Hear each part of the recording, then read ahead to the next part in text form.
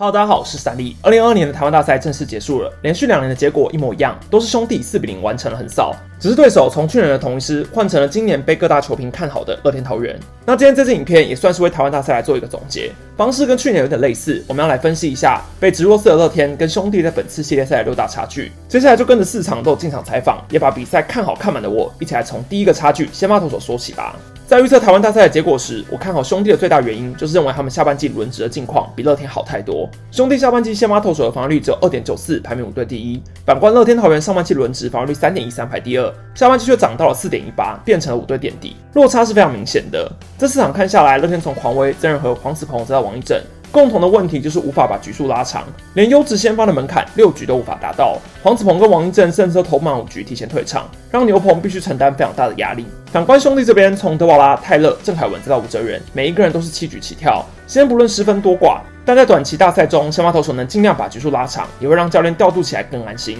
毕竟多换一位投手，就要多承担一个风险嘛。对于乐天而言，他们应该早就意识到自己的先发投手不如人了。就算今天霸凌爵没有受伤，结果恐怕也不会有太大改变。这就要回归到下半季找的洋将太少，在索沙离队之后就只补了一个毕赢多，他的能力甚至上教练团连一场先发都不敢给。但兄弟的洋将竞争是从开季到季末都在持续，从上半季三羊头再到弗莱西窜起，目前离开，后来又有泰勒、奥特罗二抢一，教练团不用烦恼没有人选，只要烦恼该带谁就可以了。再来看第二个差距，先发讲完，当然马上换到牛棚。其实乐天桃园今年能够成为年度第一的队伍，牛棚的进步绝对是关键之一。去年他们的牛棚防御率四点二九，只赢过卫权排第四，今年却低到只有二点五七，跟第二富邦的三点零八有一段不小差距。兄弟则是以三点三六排在第三，可是进到台湾大赛之后，乐天的牛棚稳定度却是不如兄弟的。兄弟最大的优势就在于他们先发能够拉长，所以后援要吃的局数非常少，只要推最安心、最精锐的那几个人上来就好了。像张忠诚、刘永晴、关大元、王一凯、黄文志，通通不用上，只用了蔡奇哲、李正昌、吕彦青三个人就完成了台湾大赛四战的牛棚任务。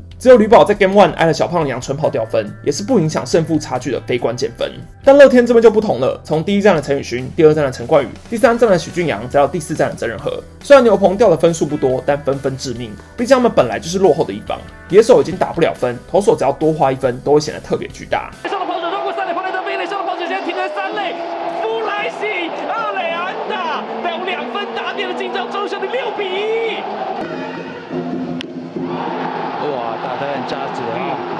是打击练习的时候状况很好，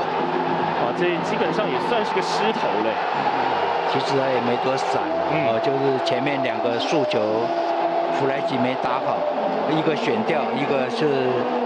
神界外。但我也必须要说，光这四场牛棚就用了九位投手，里面还包含两个洋将豪进跟比多，一共吃了十七局，而且在先发顶不住，野手还扯后腿的情况下。乐天的后援投手表现已经很好了。接下来进入野手的部分，以打线的进攻表现来看，我认为兄弟有两个地方大胜。第一是选球，从数据来看，乐天跟兄弟在这次台湾大赛的团队上垒率是两成四八跟三成七零的天壤之别。他们的保送率只有二点九 percent，跟兄弟的八点七 percent 也差非常多。四场下来只选到了六次四十球，其中还有两个是出生，只有四个是获得四坏球保送上垒。除了林立、陈静、马杰森、郭永伟这四个人以外，其余乐天打者都丧失了选保送的能力。我个人觉得落差最大的就是梁家荣跟廖建富这两个人，今年例行赛的 BB percent 都超过了十，排在乐天前两名。进到季后赛却一个四坏保送都没有选到，廖健富至少还有稳定的安打输出，梁家荣却完全变成打线的断层，对于乐天而言非常伤。四场看下来，我感受到的就是乐天全队在攻击上都非常积极，前两球基本上一定会回一颗，而且很常在得分机会出来时，下一棒很快就被对方投手解决，甚至是双杀。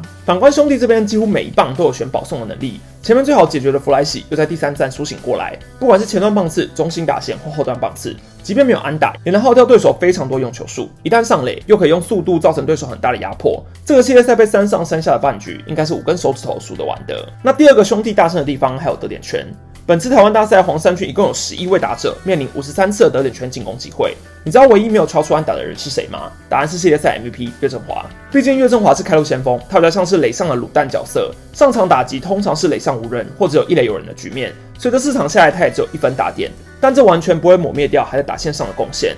除了岳振华，其余十人在得点圈都有安打的贡献，特别又以岳东华、陈子豪、陈文杰最为突出，得点圈打击率都是四成，全队的得点圈打击三围是三三四，把握度算是非常高。中间方向的飞球啊，哎呦哇啦，那这样就是刚刚讲的，你的战术就是不要他打越过外野手啊，特别把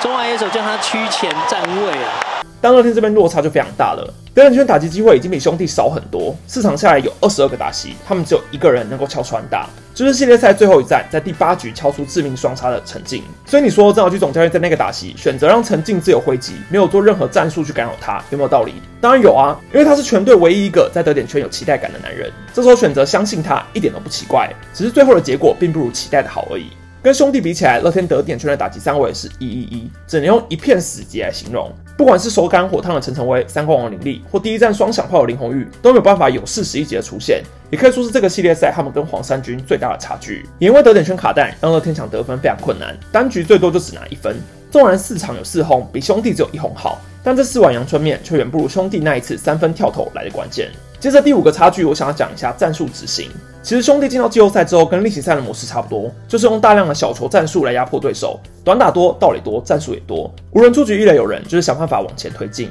就算是许继宏或弗莱西一样，该助攻就助攻，上垒后就不会轻易盗垒。但只要跑了，就必定成功。从挑战赛到台湾大赛，兄弟的战术执行成功率真的非常非常高，打带跑也很常打穿防线。我印象中失败的，好像只有江坤宇的短打意外踩到球出局，没有成功推进。可是那一局他们居然还可以得分。世界赛看下来，就是兄弟教练团做什么都对，但乐天却做什么都错。第一站梁家荣看出暗号，变成纯盗垒，被德保拉牵制出局。第二站让三冠王林立积极在第一局的短打，结果也没有得分。第三站几乎不下战术，然后无人出局，一三垒有人只拿一分。第四站在落后一分的情况下倒垒，郭永伟又被弗莱奇抓到。我真的觉得乐天教练团并没有不知变通，他们一直尝试各种方法，打线也在第三站、第四站都动过，但还是改变不了做什么都错的结果。最后一个则是守备的差距。如果说得点确认问题排第一，那防守不稳的问题肯定是排第二了。我必须要说，乐天今年的守备跟去年比起来是有进步的，但主要是进步在上半季。前六十场打完，他们团队只有五十次失误，守备率九成七八，只输给兄弟的九成八二。就算有差，也没有差到非常多。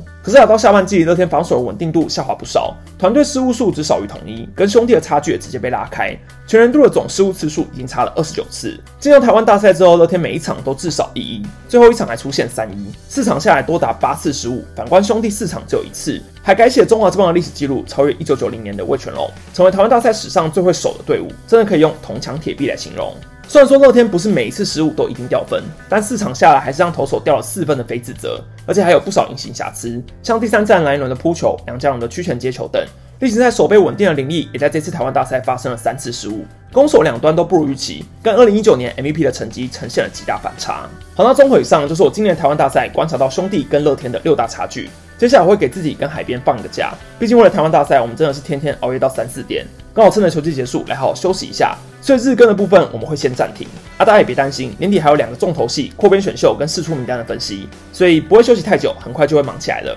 我是安妮，欢迎订阅我的副频道《三爱采访生活》，那我们就下次影片见啦，拜。